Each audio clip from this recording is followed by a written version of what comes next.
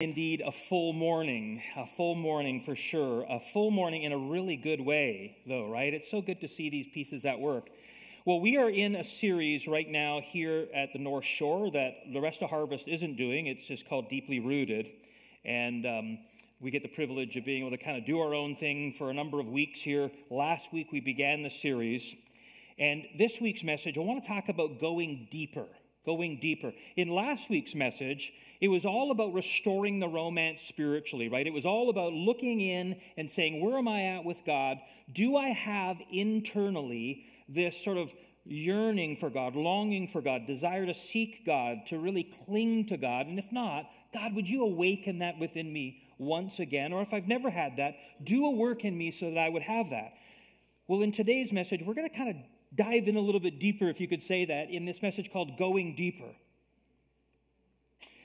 In his book entitled Building Below the Waterline, a man named Gordon MacDonald retells the story of the building of the Brooklyn Bridge, which arches the East River and joins Manhattan to Brooklyn. He says this, and in June 1872, the chief engineer of the project wrote these words to such of the general public as might imagine that no work had been done on the New York Tower because they see no evidence of it above the water, I would simply remark that the amount of the masonry and concrete laid on the foundation during the past winter underwater is equal in quantity to the entire masonry of the Brooklyn Tower visible today above the waterline. MacDonald goes on to state that the Brooklyn Bridge remains a major transportation artery in New York City today because 135 years ago, the chief engineer and his construction team did their most patient and daring work where no one could see it on the foundations of the towers below the waterline. It is just one more illustration of an ageless principle that the work that's done below the waterline in a person's soul is what determines whether he or she will stand the test of time and challenge. What are we doing below the waterline? You see, our lives must not be all about what's above the waterline. You know, you can build something above the waterline, but the reality is, what have you done below the waterline? You see, it, it's really a point to say you've got to go deep. You've got to build below the waterline. You've got to build that foundation solid. You've got to give careful attention to what's below the waterline in your life because what's above the waterline, if the what's below the waterline isn't going to sustain it forever. And when the difficult things come, when the hard times come, if you haven't built below the waterline, trouble is surely around the corner. The Apostle Paul in the book of Colossians in chapter 2, verse 6 and 7 said these words Therefore, as you received Christ the Lord,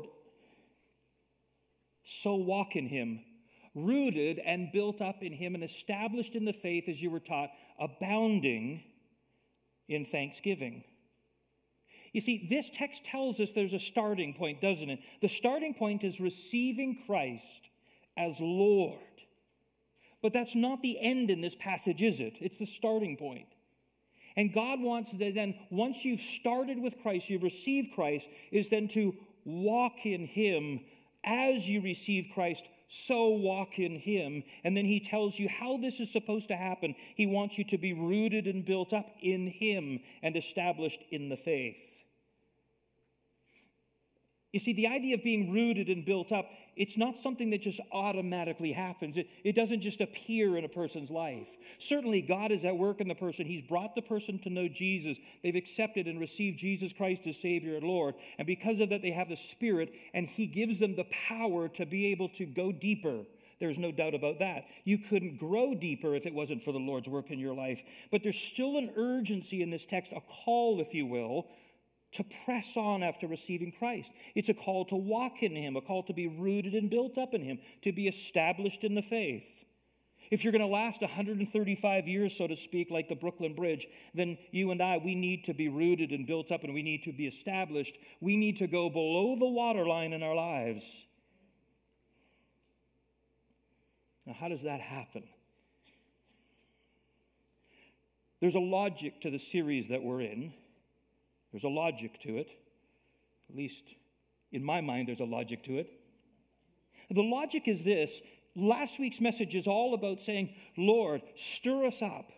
Stir up our affections for you. Stir up our desires for you. We need to have a stronger desire for you. Looking at your own life, I looking at my own life. Lord, where am I at? What's the spiritual temperature of my own soul? And from that point, Lord, do a new work. Would you please begin it, start it, do it, whatever you have to do. Create this in me. And from that, then we have to ask ourselves, okay, now what? You see, just because we have a stir of religious affections doesn't mean we know what we're supposed to do next. And so this message is, in a sense, the next logical step about going deeper. You see, I believe that initially there's three actions that are necessary, and I'm going to give you those three actions today. There is, in some respects, not a depth to this message, if I can put it that way. A lot of stuff at times is a basic, uh, return to basics. But what I do find is that sometimes we can know a lot of information but that doesn't mean we live the information. You see, spiritual maturity isn't determined by how much you know, it's, it's really a lot more determined by how much you live and apply, isn't it? Obey. That's more the mark of maturity. So, what are those three actions that are necessary? Here they are. First of all, to be deeply rooted, we need to eliminate hurry from our lives. Oh, friends, this is a hard thing. You remember that song by Alabama? I'm in a hurry to get things done. Oh boy, I'm singing in front of church. That's scary. I'll leave that to Flav and Becky. It's so much better. But you remember that song? I'm in a hurry to get things done. I rush and rush until life's no fun. All I really got to do is live and die. Even I'm in a hurry and I don't know why. That really is a song that kind of captures what our culture is so like. We don't even know why we're so hurried. But to, de- to be deeply rooted, we need to do what we can to eliminate. And I say we do what we can to eliminate hurry from our lives because why? Hurry is truly an enemy of intimacy with God. It really is. We are such a hurried culture, and that in our hurried state, it's even be, been diagnosed, if you will, as now the hurry sickness. Have you heard of that? The hurry sickness. It's a term that was coined back in the 1950s by a cardiologist who, in evaluating in particular type A personalities, said that these are individuals with a harrying sense of time urgency. It's defined nowadays as a malaise where a person feels chronically short of time and so tends to perform every task faster and to get flustered when encountering any kind of delay, running from one thing to the next.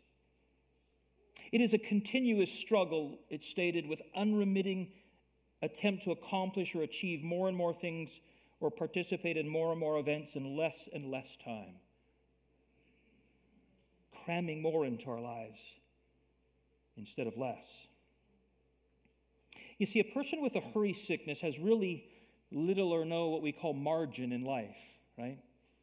Remember that thing called margin? Remember when you were in school and, you know, I don't know if they even do this in school. They had paper.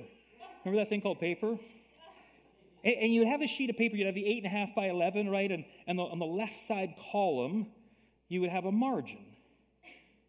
And I always use the margin for doodling, right? Not, not listening to the teacher at all. Sorry, teachers in the room, but you know the guys who are mar- doodling. I was one of the doodlers. It, you know, see, the margin was for that, and the rest was for writing your notes. But to live a marginless life is really to say, you know what, that, that margin there is, is either shrinking or it's altogether gone. We have no room or margin. Margin is the idea of having a border or an edge. Um, it's the idea of an amount beyond what is needed. Right? You, you think of your day, you think of your day's activity. Do you have so much in your day that you get to a place where you say, I have no amount beyond what is needed? I have no room. I have no space for that. A lot of people live without margin. But you see, there's devastating effects of living like that, aren't there? We see it in our culture all around us. Dr. Richard Swenson, he's a medical doctor, he's a Christian man who wrote a book entitled Margin, talked about all the patients that would come into his office over and over and over again with some pretty significant symptoms. And he said what he often would see is that these symptoms would be manifested in three different ways psychological, physical, and behavioral. And a lot of them were stress induced, stress and anxiety induced. He talks about depression and withdrawal and apathy and mental fatigue, anxiety, feeling that things are slipping out of control, negative thinking, difficulty making decisions, exaggerated worry, anger, hostility, impatience, forgetfulness, confusion, all of it connected to stress and anxiety. He talks about physical symptoms. Pretty incredible the connection between sort of the, the, the mind and the spirit and the body. Our response to stressors, he says, takes it all the way through the through to the, to, to, the cellular level of our lives. These physical symptoms include things like rapid pulse, palpitations, increased blood pressure, hyperacidity, ulcers, irritable bowel, tightening of the muscles, headaches, weight changes, compromised immune system, unexplained fatigue, rashes, itching, insomnia, and shortness of breath. Wow. All because we're running with no margin in our lives, all because we have this life that we often live that's so enamored in some ways with being really busy, as if we're somehow somebody. We're, we're actually a real significant contributor. We have our identity and worth wrapped up so much in sort of production. He lists another massive list about behavioral problems irritation with your friends and colleagues, outbursts of temper. Of course, all of this rolls over where? Into the most significant relationships of our lives marriage, kids, we have end up having less time for people, less time for family, and worst of all, less time for God. So we live in this culture, though, that, that seems to almost applaud that, right? Back in the day, I remember seeing people with pagers. Remember those? Some of you are like, what's a pager? But pagers, you know, like if you saw somebody with a pager, they were important, right? And if you ever got a pager, you're like, I'm important. I've got a pager. And then people started carrying around cell phones that were this big, right? Wow, she must be so important. She's got a cell phone. And boy, you know what? That person is on the go. Man, they must really be something. I mean, they're needed by so many people. They're in such demand to so much people. They're a driver, a producer, they're achiever. They're so successful.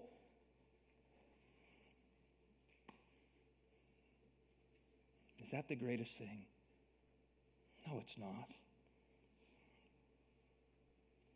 You see, although it's fictional, there's an interesting little description of how the devil one time had a worldwide convention.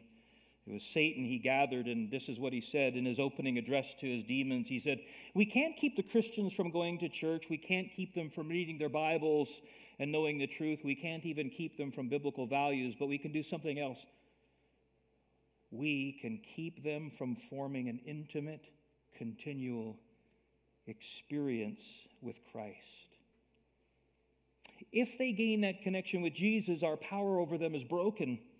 So let them go to church, let them have their Christian lifestyles, but steal their time so they can't gain that experience with Jesus Christ. This is what I want you to do distract them. Distract them from gaining hold of their Savior and maintaining that vital connection throughout the day. How shall we do this? asked one of his demons. Keep them busy with non essentials of life and invest unnumbered schemes to occupy their minds.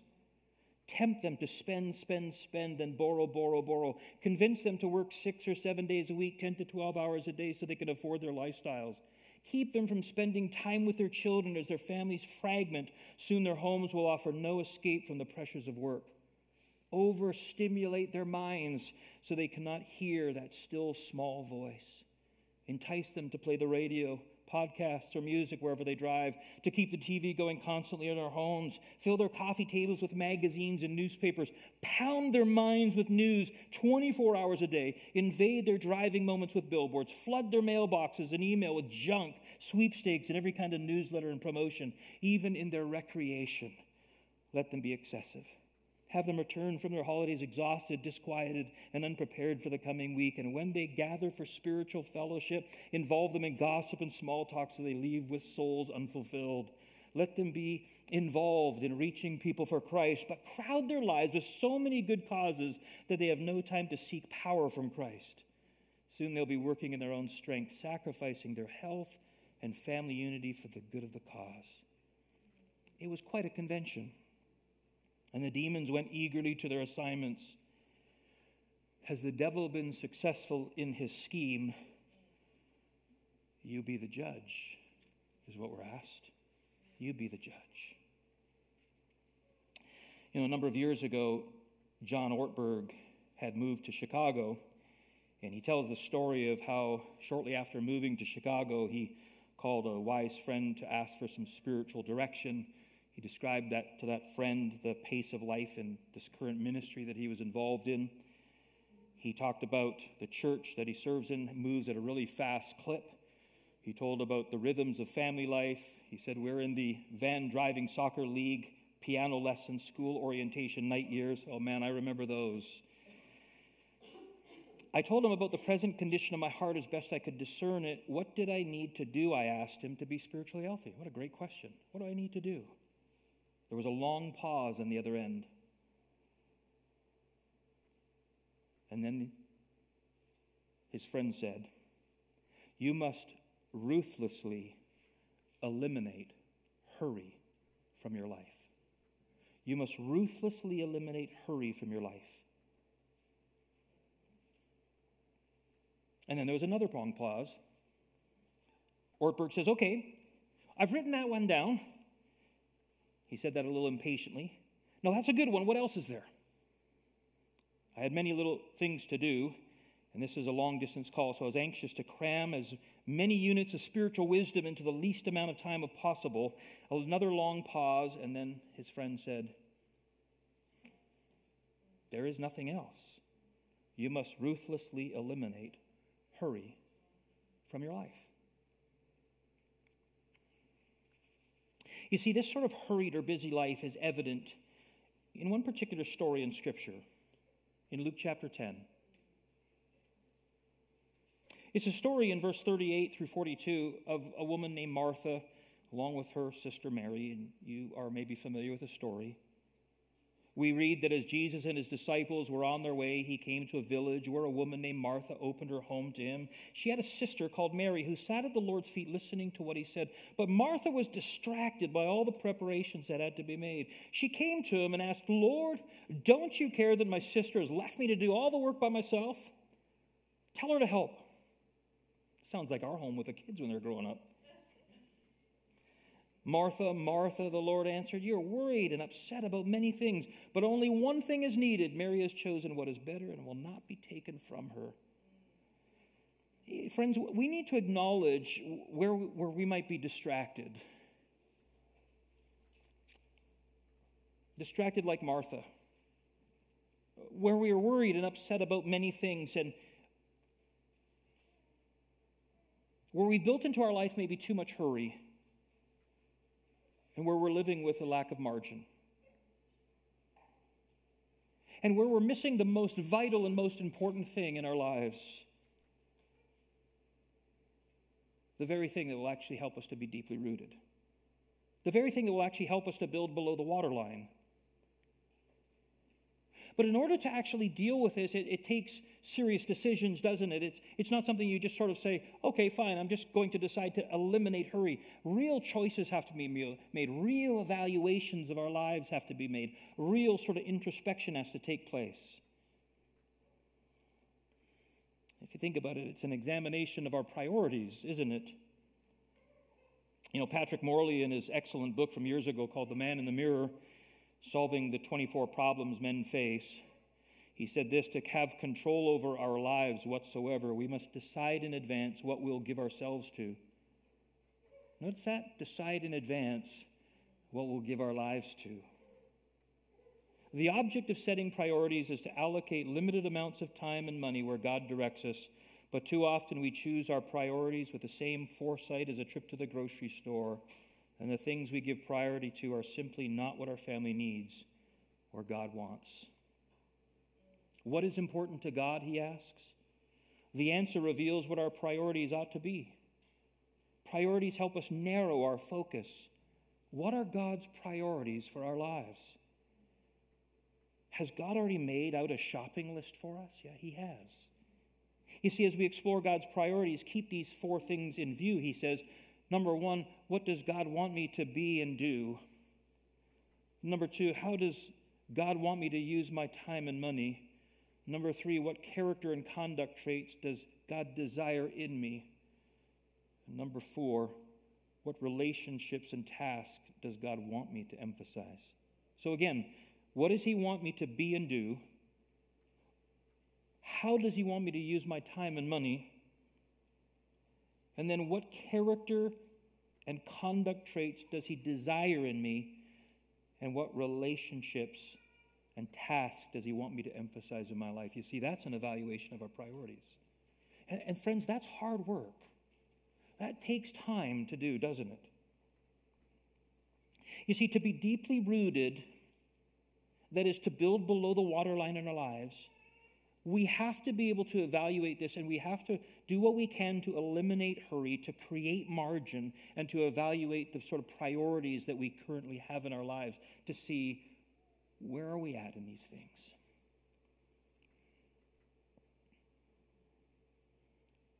That's what we need to do. The second thing that we need to do is this to be deeply rooted, we need to practice Sabbath.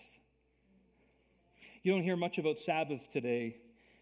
We typically think of Sabbath as, well, that's something in the Old Testament, either that or it's my really old music group, Black Sabbath, that I would listen to.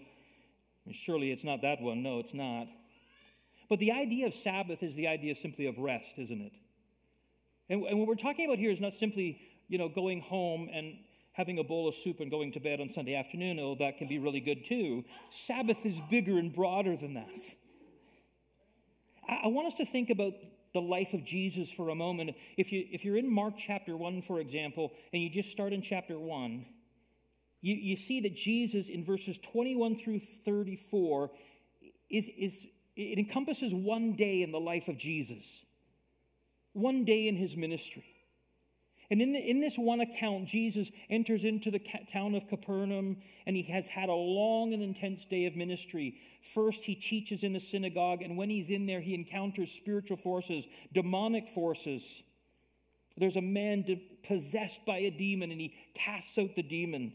Secondly, he goes to the home of Simon and Andrew and he heals Simon's mother in law who's there with a fever. Thirdly, once the sun sets, the people of Capernaum all come out because now the Sabbath is over. It's just ending because it ends at sunrise or sunset.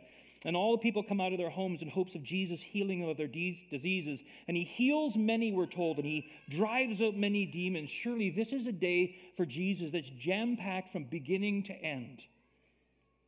He's, he's engaged in a long and intense day of ministry.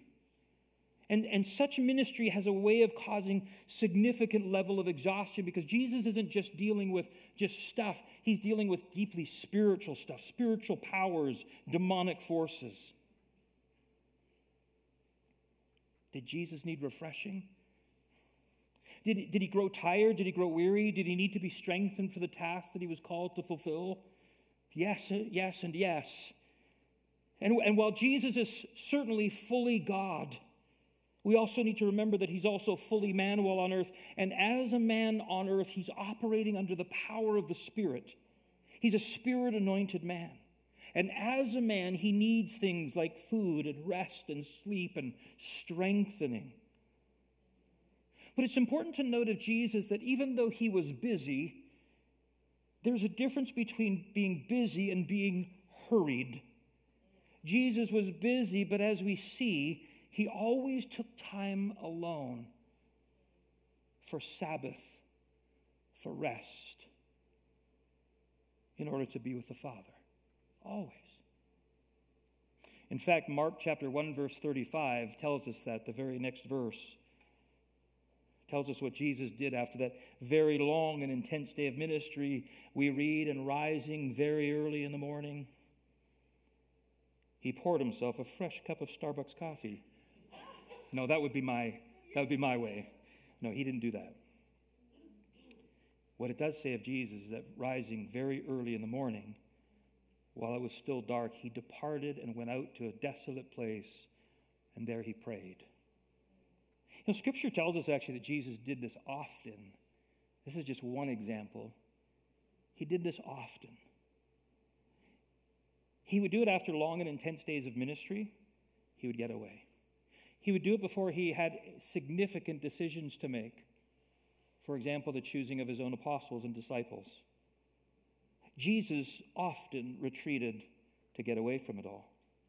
Because he knew that he needed to get alone with the Father because as soon as the others would rise up in the morning, that they would be coming at him with all of the needs and the pressures and the expectations and the demands of others, they would be relentless and they would be incessant. People would be banging at his door, so to speak, saying, Jesus. And that's exactly what happens in this text as you read from verse 36 to 38. The disciples are like, Where are you? The people are wondering where you are.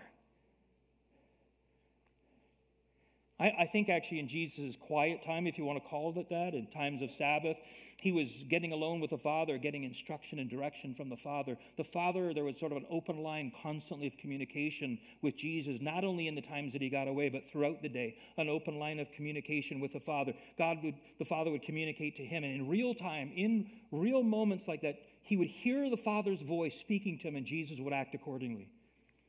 It's really incredible when you see it in the Gospel of John. He got with the Father because he knew that he needed that direction. He found strength from the Father for the day. Friends, we too need to be intentional about our spiritual lives and getting alone with God, don't we? That's why it's so important to ruthlessly eliminate hurry from our lives, to reorder our priorities. And to ask God to open up more margin. More margin for what? For Him. In his book, Emotionally Healthy Spirituality, Peter Scazzero said these words. He said, Very few people have a conscious plan for developing their spiritual lives. Most Christians are not intentional, rather functional, like cars on autopilot.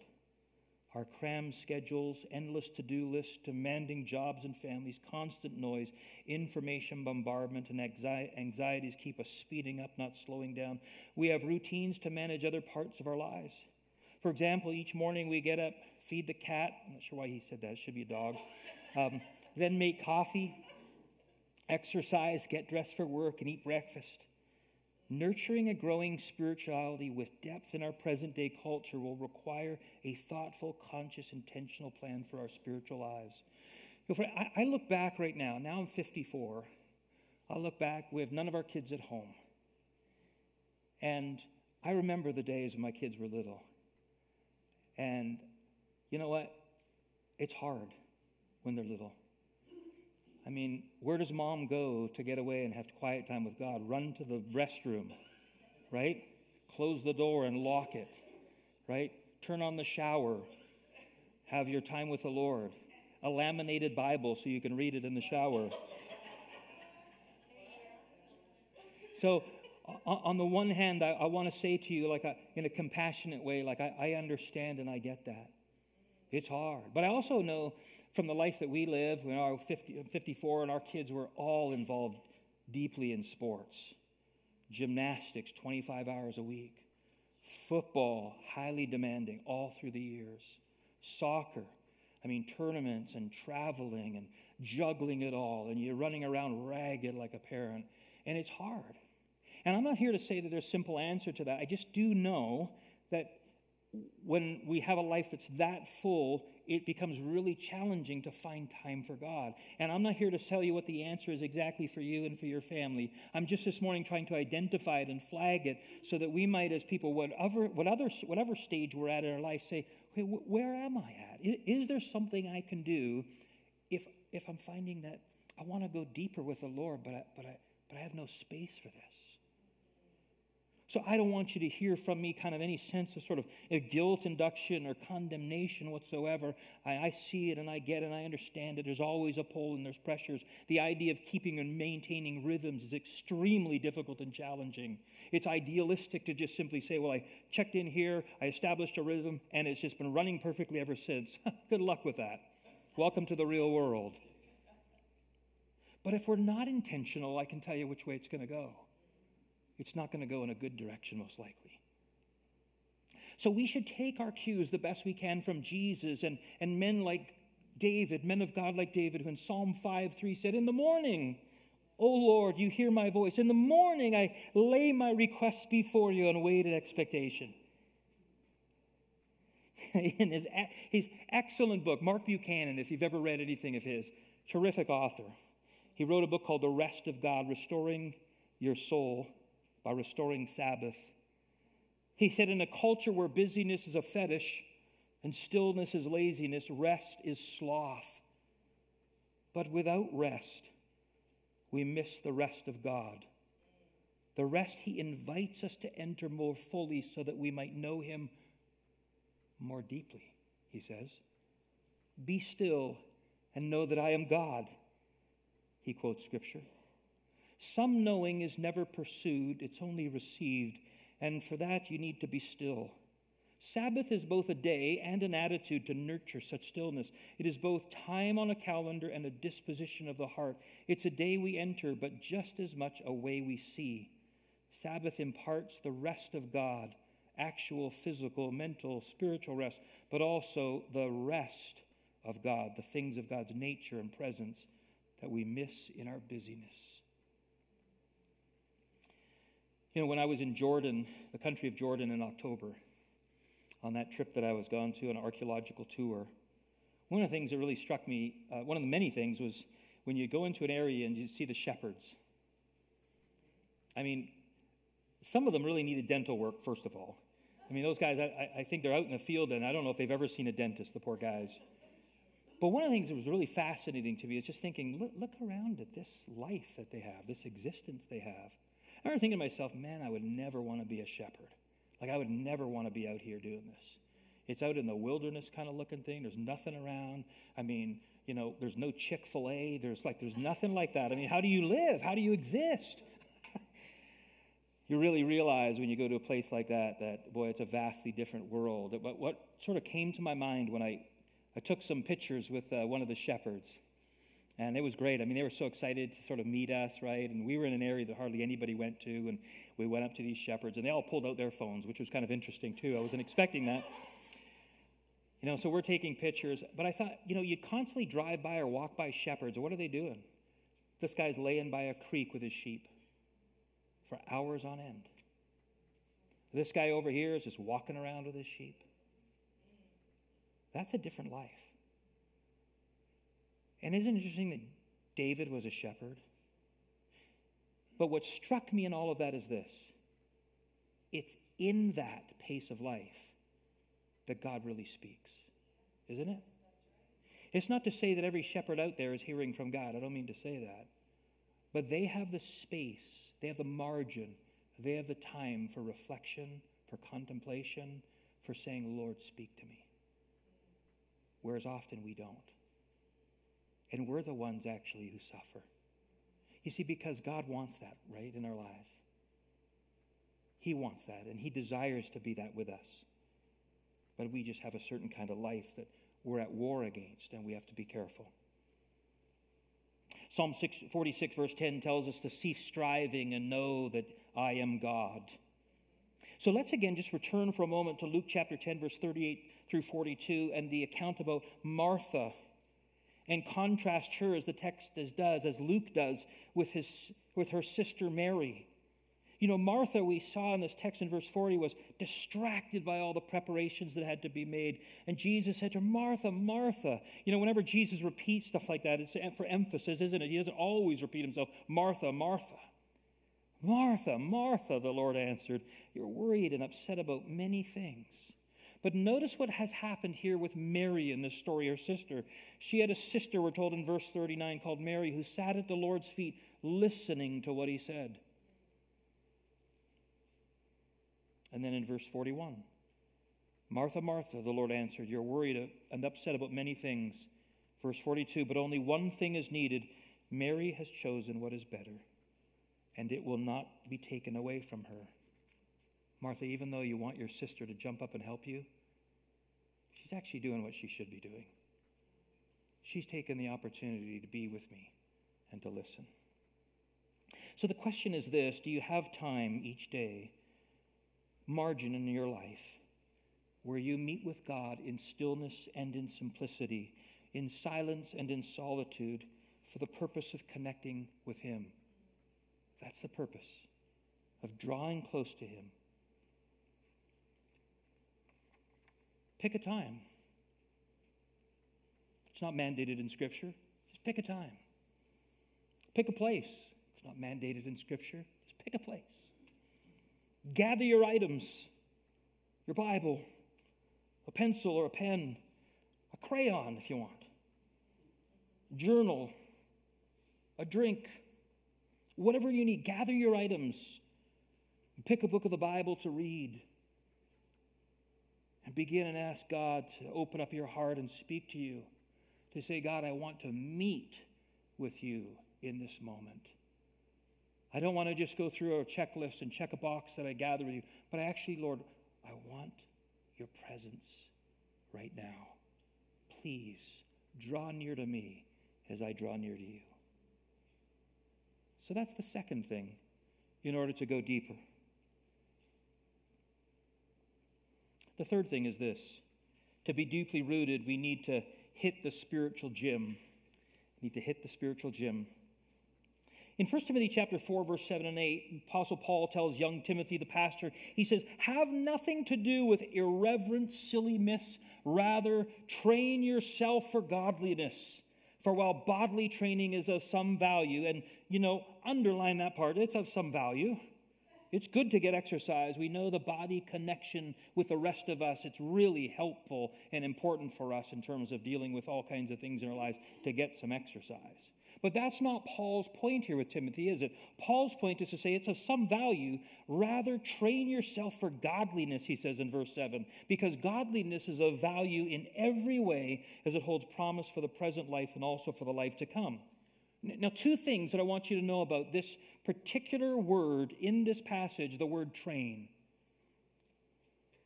First is this that word train in the original language in Greek is in what's called a present active imperative. A present active imperative. Now, what that means is this train means not just one time train, like I hit the gym last month. I haven't been there since. No, it's present. Present tense and active means that it's ongoing, it's continuous. I'm continually hitting the gym, so to speak. I'm continually training myself for godliness. That means it's, it's also a command, it's in the imperative in Greek. Paul's saying to Timothy, Timothy, I command you to keep going to the gym, so to speak. Keep hitting it.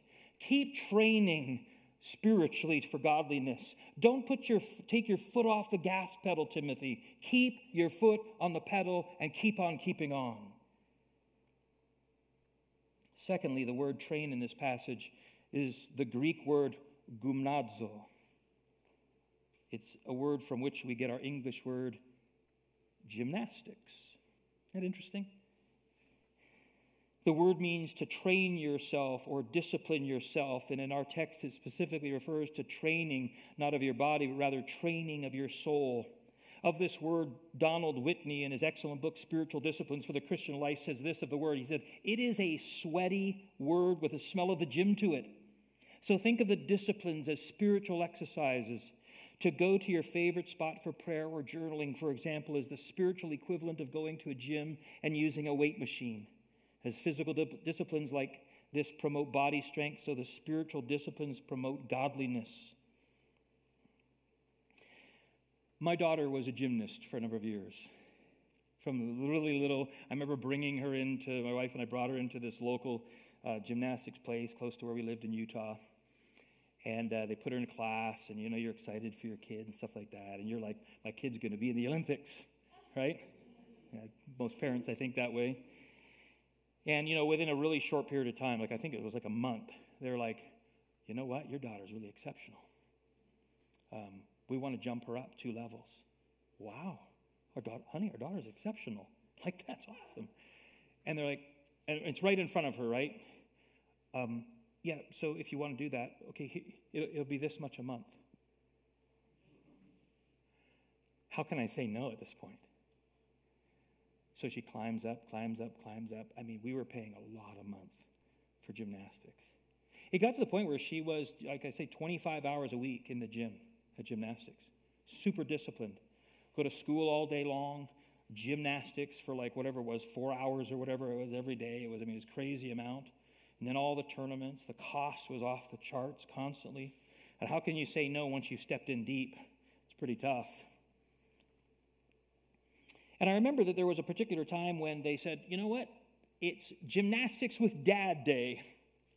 Girls, you get to bring your dads in, and they can kind of check out the equipment with you. You can kind of walk them around and show them the equipment. Normally, it's watching gymnastics from a distance, right? So I go in there and like you can try the balance beam, right? You can kind of get up on that thing and do your stuff, and you can do the stuff that they're trying to do some of the stuff they're doing. You're like, ain't no way I'm going to do that right? And then you get to try like the rope, right? You see these girls, they just grab the rope. I mean, it's like higher than the ceiling. And they're like up with their legs sticking straight out in front of them. I tried that. Man, my, my, my abs were so sore for days. I get on the, uh, the, the, the bars, you know, that they flip around on. That was brutal. I mean, I wasn't flipping anywhere. I, I couldn't do anything. I couldn't do anything. But you see, what they did is they trained to do this, right? They trained and trained and trained and trained to do this, all for one moment in time at a tournament. A super brief moment. You, as a parent, are sitting there forever watching the gymnastics tournaments, and 50,000 girls, it feels like, are going through their things. Finally, it's your daughter's turn for like something that's maybe 30 seconds, it feels like. But you know this one thing to be true. You would never be able to do what they do unless you train to do it. And in a really similar, we understand this so true about every other area of life. But it's so true also for the spiritual life. I won't be like Jesus when it really matters if I don't train to be like Jesus. I won't. I won't be godly if I don't train to be godly when it really counts. You see, because if I haven't built below the waterline, it's not going to show above the water. So to grow spiritually takes this kind of effort of going to the gym and getting regular exercise. It takes intentionality, discipline. Godliness and Christlikeness do not just automatically happen, but God's Spirit and His power in your life, because you're a follower of Jesus, is in you, and He will empower you and enable you to be that kind of person. Those disciplines of the Christian life, however, should not be done through our own self discipline, our sort of grit, or our determination, or our iron will when practicing what we call spiritual disciplines. We need to keep before us always the goal. Why do we do these things? We do them because we want to know Christ and we want to cultivate a deeper relationship with Him. The goal is godliness or Christ likeness and intimacy with God. As Richard Foster says, we practice these things when we do this, we allow, it allows us to place ourselves before God so that He can transform us through Christ. By themselves, these disciplines can do nothing. They, they only get us in the right place. They put us in the right posture, the right disposition where something can be done, where God can act, where God can move. They are actually God's means of grace in our lives. So, friends, it's by intentionally and consistently practicing those spiritual disciplines like prayer and meditation and solitude and silence and fasting and reading of the Word of God that we become deeply rooted, rooted because God meets us in and through those practices. It is, it is these spiritual practices that as a church we're going to turn to in the weeks to come in this series. That's where we're going as we seek to be deeply rooted. So, how, how do you respond to today's message? How do you respond to it? I think there's really only one really important way to respond, and that is you have to take time to evaluate your current spiritual condition. To really kind of take some time to, to look in your life and say, do, do I need to work at eliminating hurry from my life? Do I need to reorganize my priorities so that I can create some more margin, so that I can introduce more Sabbath, that is, time with God? Do I, do I need to give some attention to the development of an intentional plan to train myself to be more godly? And if so, all the time, remembering the why we do it, and that is to know Christ, to know Him more. It would be so easy to leave today and do nothing. It really would be to be caught up in the busyness of the day and the demands that press in on us and arrive here next week with no progress made. It would be. We're going to walk out these doors this morning and we're going to head back into the world, and it's Sunday, and Monday's a coming. It's coming.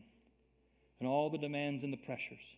You might even look at your week already as I look at my week and I think, Lord, I'm not sure how I'm going to get through all the different things that I need to get done. But we still have to face the truth about it. Friends, I want to just urge you and encourage you to do the challenging work of building below the waterline this week. It's not something done in a day, it's something that we do in an ongoing way. But there has to be a starting point. Would you pray with me? Father, we're so grateful that you love us. Lord, we commit ourselves to you. Lord, we want to go deeper.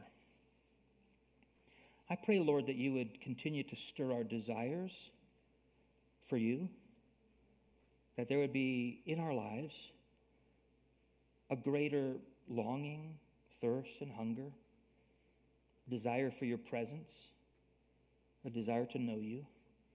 And Lord, out of that desire, Lord, that you would give us the grace that we need to eliminate hurry from our lives. Lord, to begin to practice Sabbath or quiet time, or whatever we want to call it. And Lord, that you would also help us to just put ourselves to the task of ongoing training in the spiritual life.